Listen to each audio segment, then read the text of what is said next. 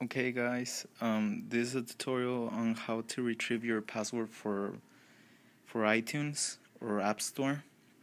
Well, from Apple. It's re really really easy.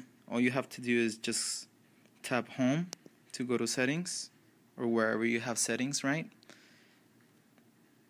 Then you open up settings. Sorry about that. This is the top is uh, this is the very top of settings as you can see it starts from airplane mode. You go all the way down wherever you have store wherever it's located.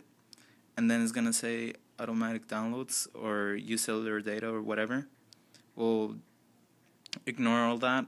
Just go all the way down where it says Apple ID you tap that and you just press view Apple ID sign out or I forgot.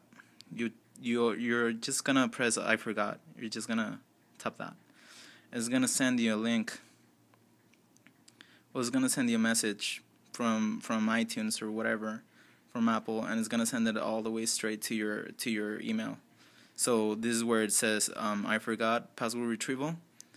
Just enter your your AOL members or I don't even know who uses AOL but uh, you can use uh, your email you know? So you just go to enter your Apple ID alright just tap that and this is where you this is the password retrieval you're gonna put your email. Like in my in my case right it's my rpg master 88 2003 at yahoo.com and done or go next or whatever. You can iMessage me to that email also as well. Just press tap next and then you put you request this by email and just put um, reset by email. So it says there, there you go. It says email has been sent. When you receive your sign in information, follow the directions and in the email to reset your password. And that's it. It's pretty easy. That's pretty much it. And thank you guys and thank you for watching.